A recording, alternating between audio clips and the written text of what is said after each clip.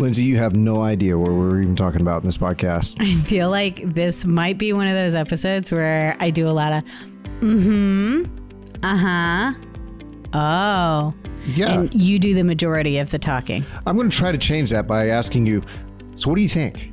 Okay. All right. And and then you're going to supply what you think. Oh, I'm gonna sneeze. Very good. Is that out of your system or are you going to, going to have a backup? No, I'm good. You I it. usually only sneeze once. Really? You don't have have an understudy sneeze? I do when I'm like actually sick, but if it's just like a random sneeze, then it's always just once, which makes me really sad because I love sneezing more than a lot of things in this world. And I'm always sad when it's only one. I've heard of people who really like sneezing. Caitlin, how do you feel about sneezing? I love a good sneeze. Yeah? Doesn't it feel so good? It's like something is leaving your body.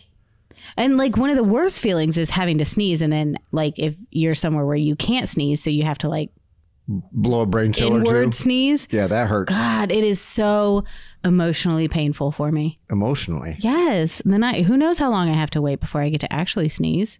And and even if you finally get to a point where you could actually and not have any problems, then you might not have to sneeze again. I know. It's sad. It's really sad. Okay, how do you feel about hiccups? I you know how I feel about hiccups. Poor Clint has had to work to me with me for a few years and knows that I get hiccups very frequently and they are violent and painful. And then Clint tries to scare the crap out of me to make it stop. And sometimes it works. It's a messy job, but someone's got to do it. It's true. What are we talking about today? What are you talking about today? I found this thing, and because EV electric vehicles are all the rage to talk about, here is a trailer that is specifically designed as like the EV trailer for RVers. And I, I- thought we should look at it. We should look at it. This thing is insane. If you guys haven't heard of it, stay tuned. Welcome to the RV Small Talk podcast, where we talk about library trailers, truck campers, and the people, places, and adventures that go right along with them. We're your host from Princess Craft RV. I'm Clint. And I painted one fingernail red. What are the other? You didn't paint any of the other fingernails. No, I didn't. Is there? Is does this mean something? Does it signify anything? Did you just run out of time? Materials? No, I just th- that's the only nail that goes past the finger. So I thought it'd be fun to paint, and guess what? It was. Oh, So that I mean that that's is this really going to it. inspire the other fingernails to grow out past the finger? it might inspire them. I'm not sure if I will let them. Okay. So, do the other fingers look up to this particular finger like it's the Michael Jackson of fingers? It's the one glove. No, my fingernail just got long because I cut my finger really bad and had to keep it wrapped up for a while. So Oh, electric vehicles.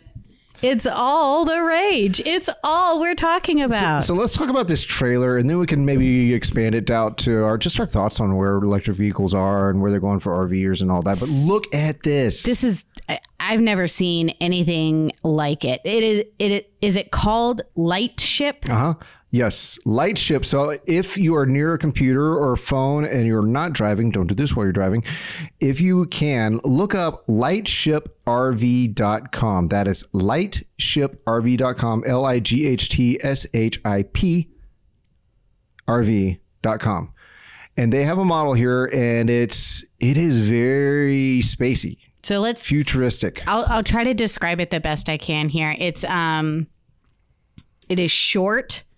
From a height standpoint. Yeah, it is about as tall as a tow vehicle. It is surrounded by windows. The whole thing is windows. Um, I don't. How long is it? Probably about fifteen, maybe twenty feet long.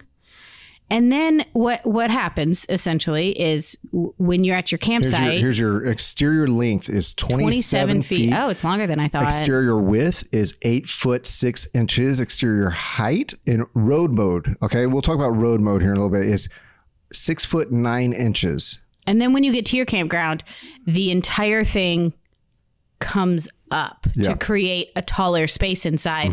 And then you have the windows all the way around Yeah. the the top half of it. So when it is up in camp mode, it is 10 feet tall. from from the exterior. So so pretty large. And then and then the interior height when it's extended, if you will, is seven foot six inches. So this with those big windows and all, this could feel very airy. very open. All the words your mom uses in her RV videos. It's so open.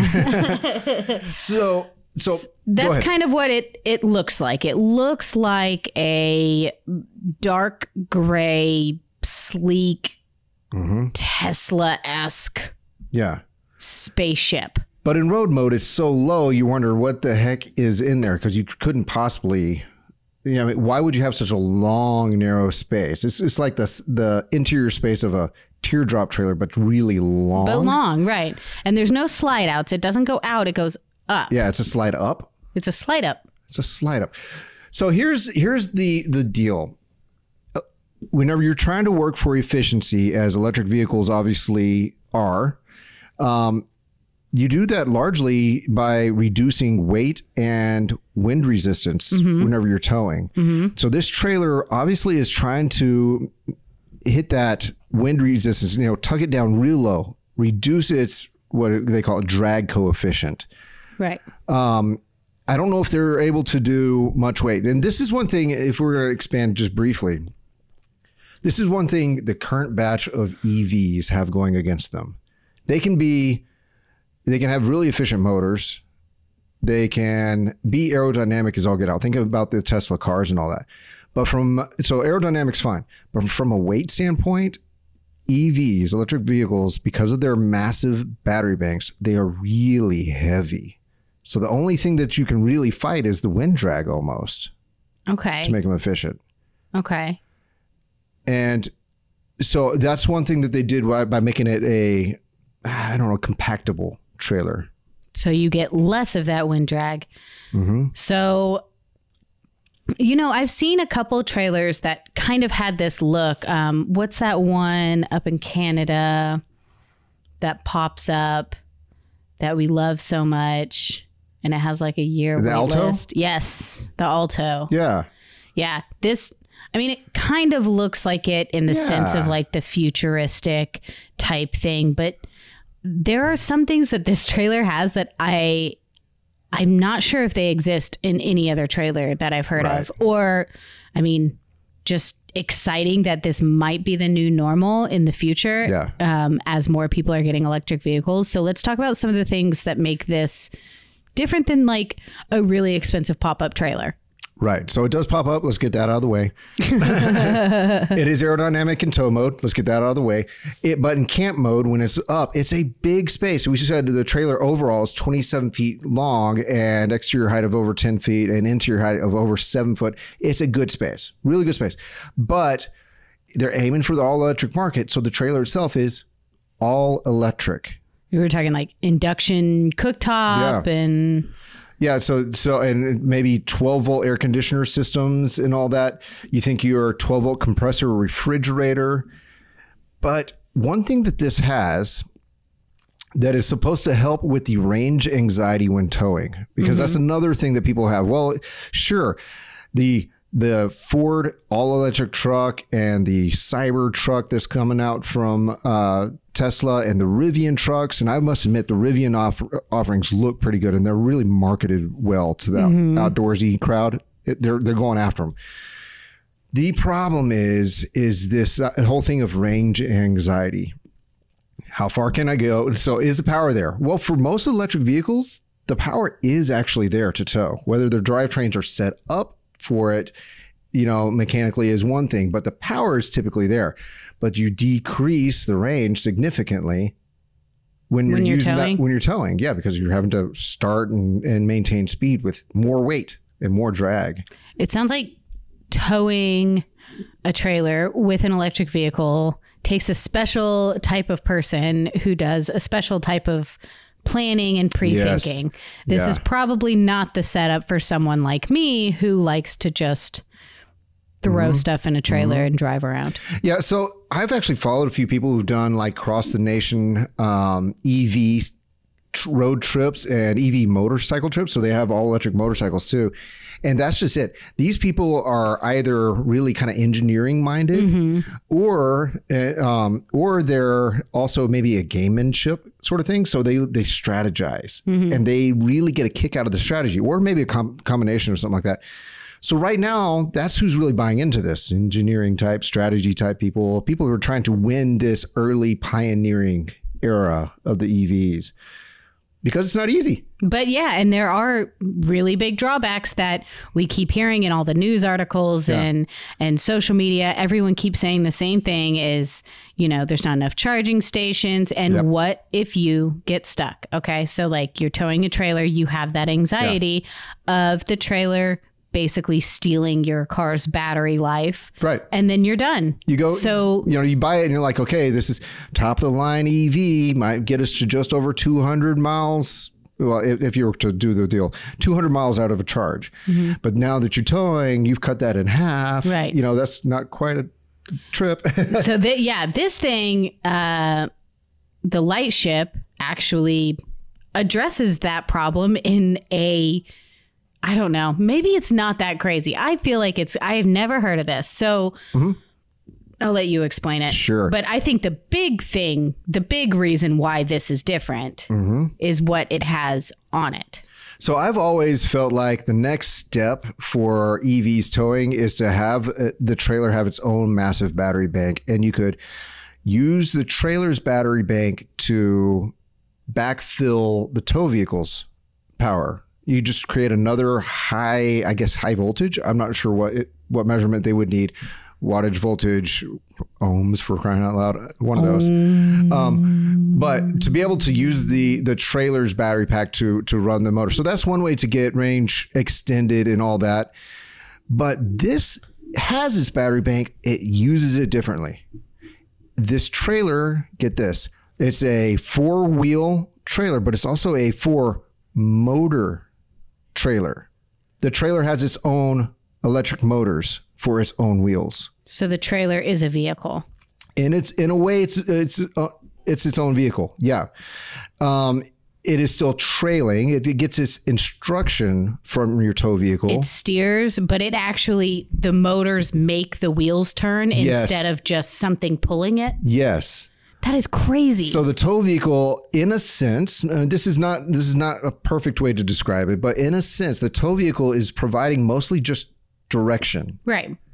um and and information to the to the trailer to follow correctly So in turn, the conundrum of not being able to go far uh, m- might not be a problem anymore because your trailer is essentially not dragging your truck, right? not dragging your, behind your your truck is not Yeah. dragging your trailer. Your trailer is driving itself, Right.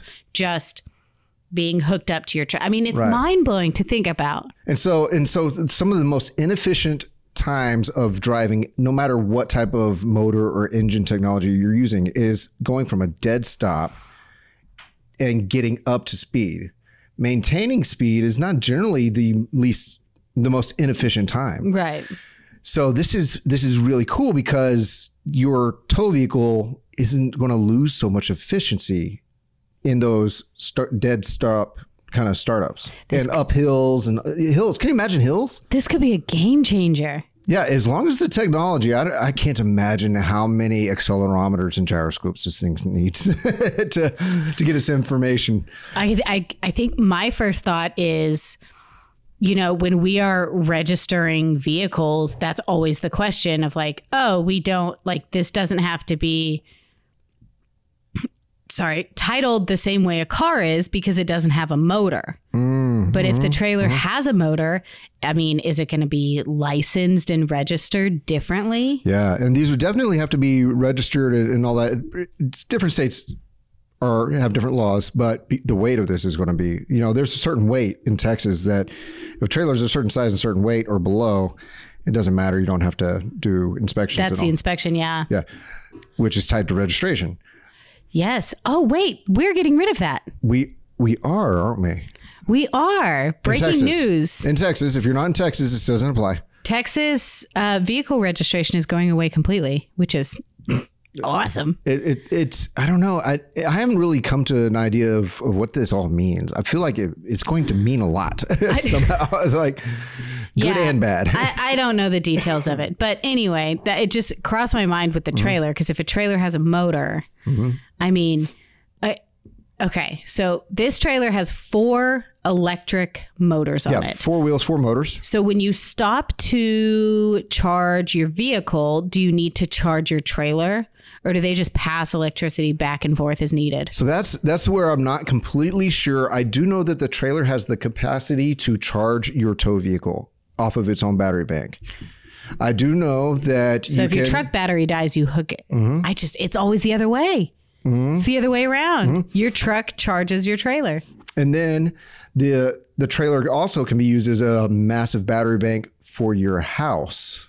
What? Let's let's say because because that's why they're selling all these little portable solar generators and battery banks right now in case there's a flood or, or power grid goes down and all that. Snowpocalypse? Snowpocalypse in Texas. People are buying these instead of regular generators, and it's huge in places where they're starting to ban generators. Right. Well, this can act like a massive battery bank that you plug your house into in a time of emergency. that is insane. Yeah.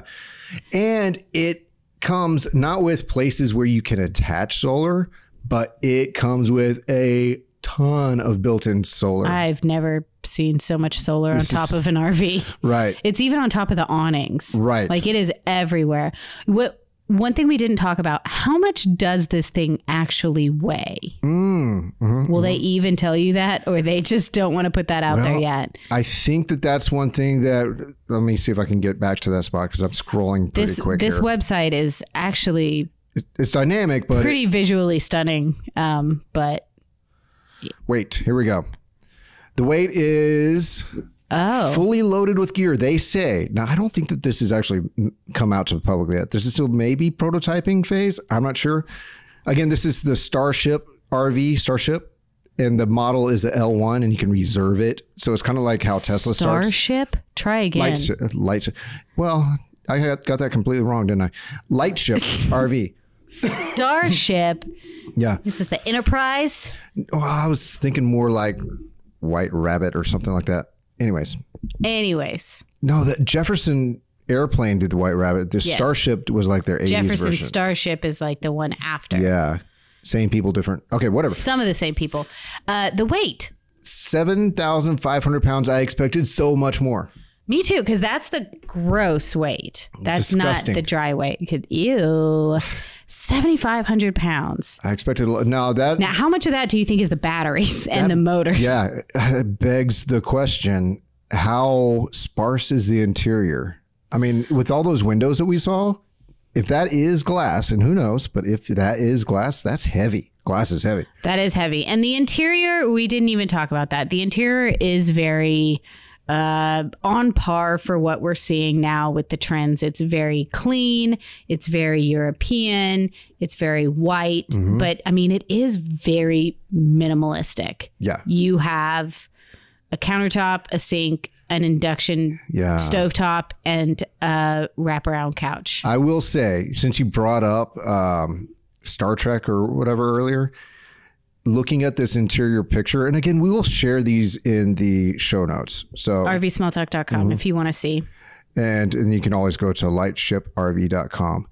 It actually does remind me of some of the interior spaces that you find in like Star Trek Next Generation and some of the later Star Is Trek this shows. is this the fridge or is that just a drawer? There is a pull-out drawer under the microwave that kind of looks like uh, a refrigerator. It has essentially the same floor plan as like a nuCamp Barefoot. yes. It's just yeah. stretched out. stretched out. Yes. Yeah. Um, and and there's windows literally all the way around it. I mean, it's just gorgeous. to me screams Scandinavian dream. Like Scandinavian this makes dream. perfect sense for the high end. You know how there's like the IKEA crowd, Yeah. and then there's the high end IKEA crowd. Like, have you ever been to what's the name of that furniture place down in Austin that's like all Scandinavian furniture, but it's not IKEA, and you don't have to put it together yourself? I have no idea. Anyways, it's it's like that crowd where it's super high end, clean, and somehow very Scandinavian looking. This looks like, and it looks like it belongs there too. It does. So, so there, therein lies some of the some of the thoughts that are I hadn't even considered having a powered a power drive trailer, where it not only supports its own weight on I mean, it's not, I don't think you can say it's a dual axle setup because each each wheel has its own separate motor. Um, you noticed something right off the bat when you first saw it. Your your complaint right off the bat was what on this website? My complaint? hmm Do you recall? I don't. That was like yesterday. that was, a It long it time was, ago. It was it was a whole twenty four hours ago. It's so low. Oh, oh, yeah, yeah, and yeah. and all the it's pictures low to the ground. and all the pictures are in off-road locations. It it is very low to the ground, and you pointed out that, I mean, that's exactly what they're trying to do is make it super sleek and aerodynamic Mm-hmm. and reduce that drag because if you're if you have an electric vehicle that's like what your number one concern so i get where they were going with this um It's it's a beautiful. I mean, the way they're presenting. Again, is this out? No, but no, it's beautiful. it is beautiful What they're showing. it, it I don't know. It does look very low to the ground, and if you're trying to go anywhere, Take take Off your of a paved road, Take your you- speed bump slow. you're gonna have a lot of trouble. So I wonder if maybe I don't know solar that's built in, not bolted on. Up to three thousand watt or three kilowatts of, of solar, power. Fine solar serenity and batteries storing storing up to eighty k watt hours. Is that a lot? 80,000 watt hours I don't know. Is that a lot? or 80 kilowatt hours. It's it's a lot. It's sizable. Very very much so. So so it looks like with that much solar and you being efficient on how you're using your energy and of course there's connected apps. There's got to be of course, Um, you can change the thermostat on your phone. that much solar, that much storage capacity um, and running smartly with 12 volt items, you could do a great job of off gridding with this trailer. The big question is, where are you going to drive it to? The you're not scraping it all up. Yeah. And if your tow vehicle, which isn't towing as much weight as it looks like it's towing because it's, it's carrying its own weight, uh, if your tow vehicle can get you there and back. And back. That's an important part. Mm-hmm. Yeah, it might be able to get you there, but you got to get back to a charging station. But that much solar, maybe you just plan your route to drive a few hours a day. I mean, this is.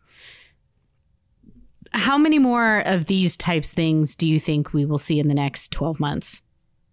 In the next 12 months, um, up to 10, but I wouldn't say, I- I'd say it'd be somewhere in the five ish range. I feel like the industry as a whole, like, I mean, it does weird stuff like Yeah. all industries, but I feel like uh, where we are in the middle of this big Mm-hmm. wave of um, off grid. Oh, off grid? Yes. Yeah. camping and boondocking and like that's kind of like the cool thing to do and people want to know when they come in and look for RVs how off-road capable is it what does it have that'll make me camp off grid Yeah. you know these are the questions that we're getting because it's what it you know it's what people are into it's what's on Instagram it's what people you know want think is important right now Yeah. I'm wondering, just like hypothetically, if this is the next overlanding, the next camping craze, right? Like,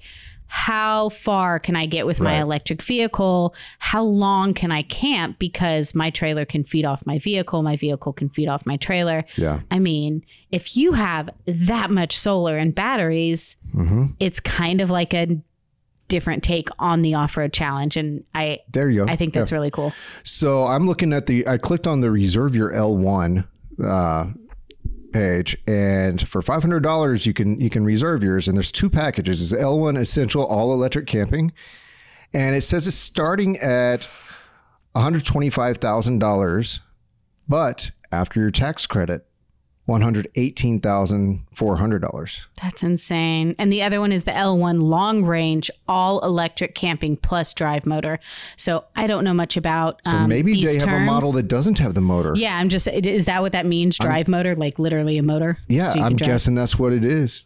So you can get it with or without. Why wouldn't you get it with? I mean, I mean, if you're financing, just go for it. I mean, I mean that's really the crazy thing about this Did you trailer. say the price with the drive motor? Oh yeah, the with the drive motor, it is one hundred fifty one thousand five hundred dollars, but it's only one hundred thirty nine six after the tax credit. Yeah. So this is very firmly in Airstream territory. Territory, yeah. From, from a from a look, from a off-road ability. I don't know. It seems even lower than some of the Airstreams I've seen. But let's say let's say in the in the realm of off-road ability, but price definitely in the range for something that large. Uh, a 27 foot Airstream. Yeah, This is this is sitting kind of in the same space. yeah. What do you know? What it's like actually made of? The silver stuff on the outside, like is that like aluminum? Is it? Yeah. I don't. I don't know. Let me uh, see if we can go back and, and find out. Again, this website looks pretty new. I thought you were supposed to ask me questions. no, I,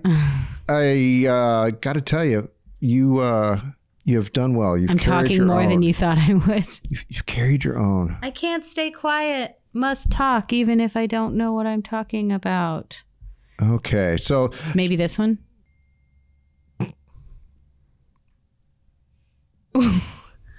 what? What?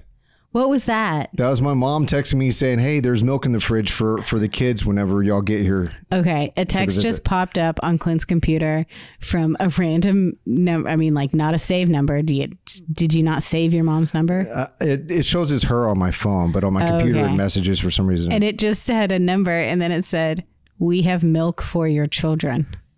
That's okay. Set it outside in a bowl. They'll lap it up like kittens. that is a weird text to get from a random number. Yeah, but it, it made sense to me. so yeah, um, I don't know. I would I would imagine it's aluminum. Of course, the windows are windows. I mean, they definitely look glass. They do not look like the the acrylic windows, which I think I would be okay with. But these definitely look glass. I mean, it looks like someone took a canoe and painted it black and turned it upside down, and It it's made being it, but it made it real glossy. behind a Rivian. Yeah, Yeah, it is a shiny upside down canoe. but when it but when you throw water on it, it expands. And no, wait, that's not how they do it. it's not a gremlin. Um, I mean, I am excited to see all the things that people come up with that I haven't even thought about. Like, This is a great website. It's good marketing. are you, are you sucked in? It is beautiful. I can't. I won't buy it because I, I- can't. because I can't. But it's. I mean, I kind of hope this makes it. I hope it makes it out there that these reservations actually come through because there's always some. It's, almost- it's almost like a. You saw it with the early Teslas. You know, you put down your reservation. How long will it take to actually come off the line and start to get into consumers' hands? Same with Rivian and uh, any number of the EV things coming out lately. I think not only is it going to make it, but it's going to have all the competition soon Yeah. because I just. Okay, here's the other thing people who have EVs, and like, I'm not trying to offend anybody, but But here she goes. but here I am offending. People who buy electric vehicles tend to be the more business type people. Okay. Are those the people who are who are camping? Are are we trying to break into a new camping demographic here? Maybe, but also look at just look at how hard Rivian has gone after the off-grid camping crowd. Rivian has just gone bonkers for the camping crowd. But yeah, I I could see like a like a suit and tie businessman Mm-hmm. driving a Rivian who mm-hmm. likes to go camping. So So there, there it is, I it, guess. it does it seems like a narrow you like I want to go camping, but I want it to be super luxury, but I also have an electric vehicle. I, I have a theme, and it's called But. EV. I have a theme. Yeah. I don't know. It's it's interesting. I love the look of it. I would love to step inside one and just So there's two things here. Experience This is this is not one of the big big companies. It's not Forest River. It's not Thor. It, it's not. that's true. It- so so you're dealing with a small startup which could be super exciting to watch uh, but also hard to find this thing they're going it looks like they're going consumer direct however Lightship RV. If you want to at least show it to us, please bring one down and talk to us. We'll we'll get on the podcast. We'll do shoot video and all that stuff. Lightship RV, come to Princess Craft so that we can see it. Oh my gosh, is there a contact us on here? I bet there is. We'll find it. Ooh, Kaylin, get us connected to Lightship RV. We could be the first. Anyway, I think this is super cool. I'm really, really excited. Um, and I feel like if if I were to buy one of these, I would name it Betty. Betty Lightship. Oh Is that why? no, I don't. Who's Betty Lightship? Well, I was thinking Betty White, and I was like, no, Betty Light, no Betty Lightship. Ah, I don't know. It's a really pretty, pretty toaster oven of a trailer. toaster. It's an upside down canoe. Okay. Everybody, um, that that actually gets me to the end of my thoughts. I do think that we should do another episode, maybe here soon, on just a real look at where we think we're at in the development of EVs and RVing. This It'd be is- great if we could talk to somebody about that. So we should maybe bring in someone, Lightship. Uh, bring in someone. Maybe maybe we can find the local Rivian rep- representative. Oh man, let's, be cool. Let's do it.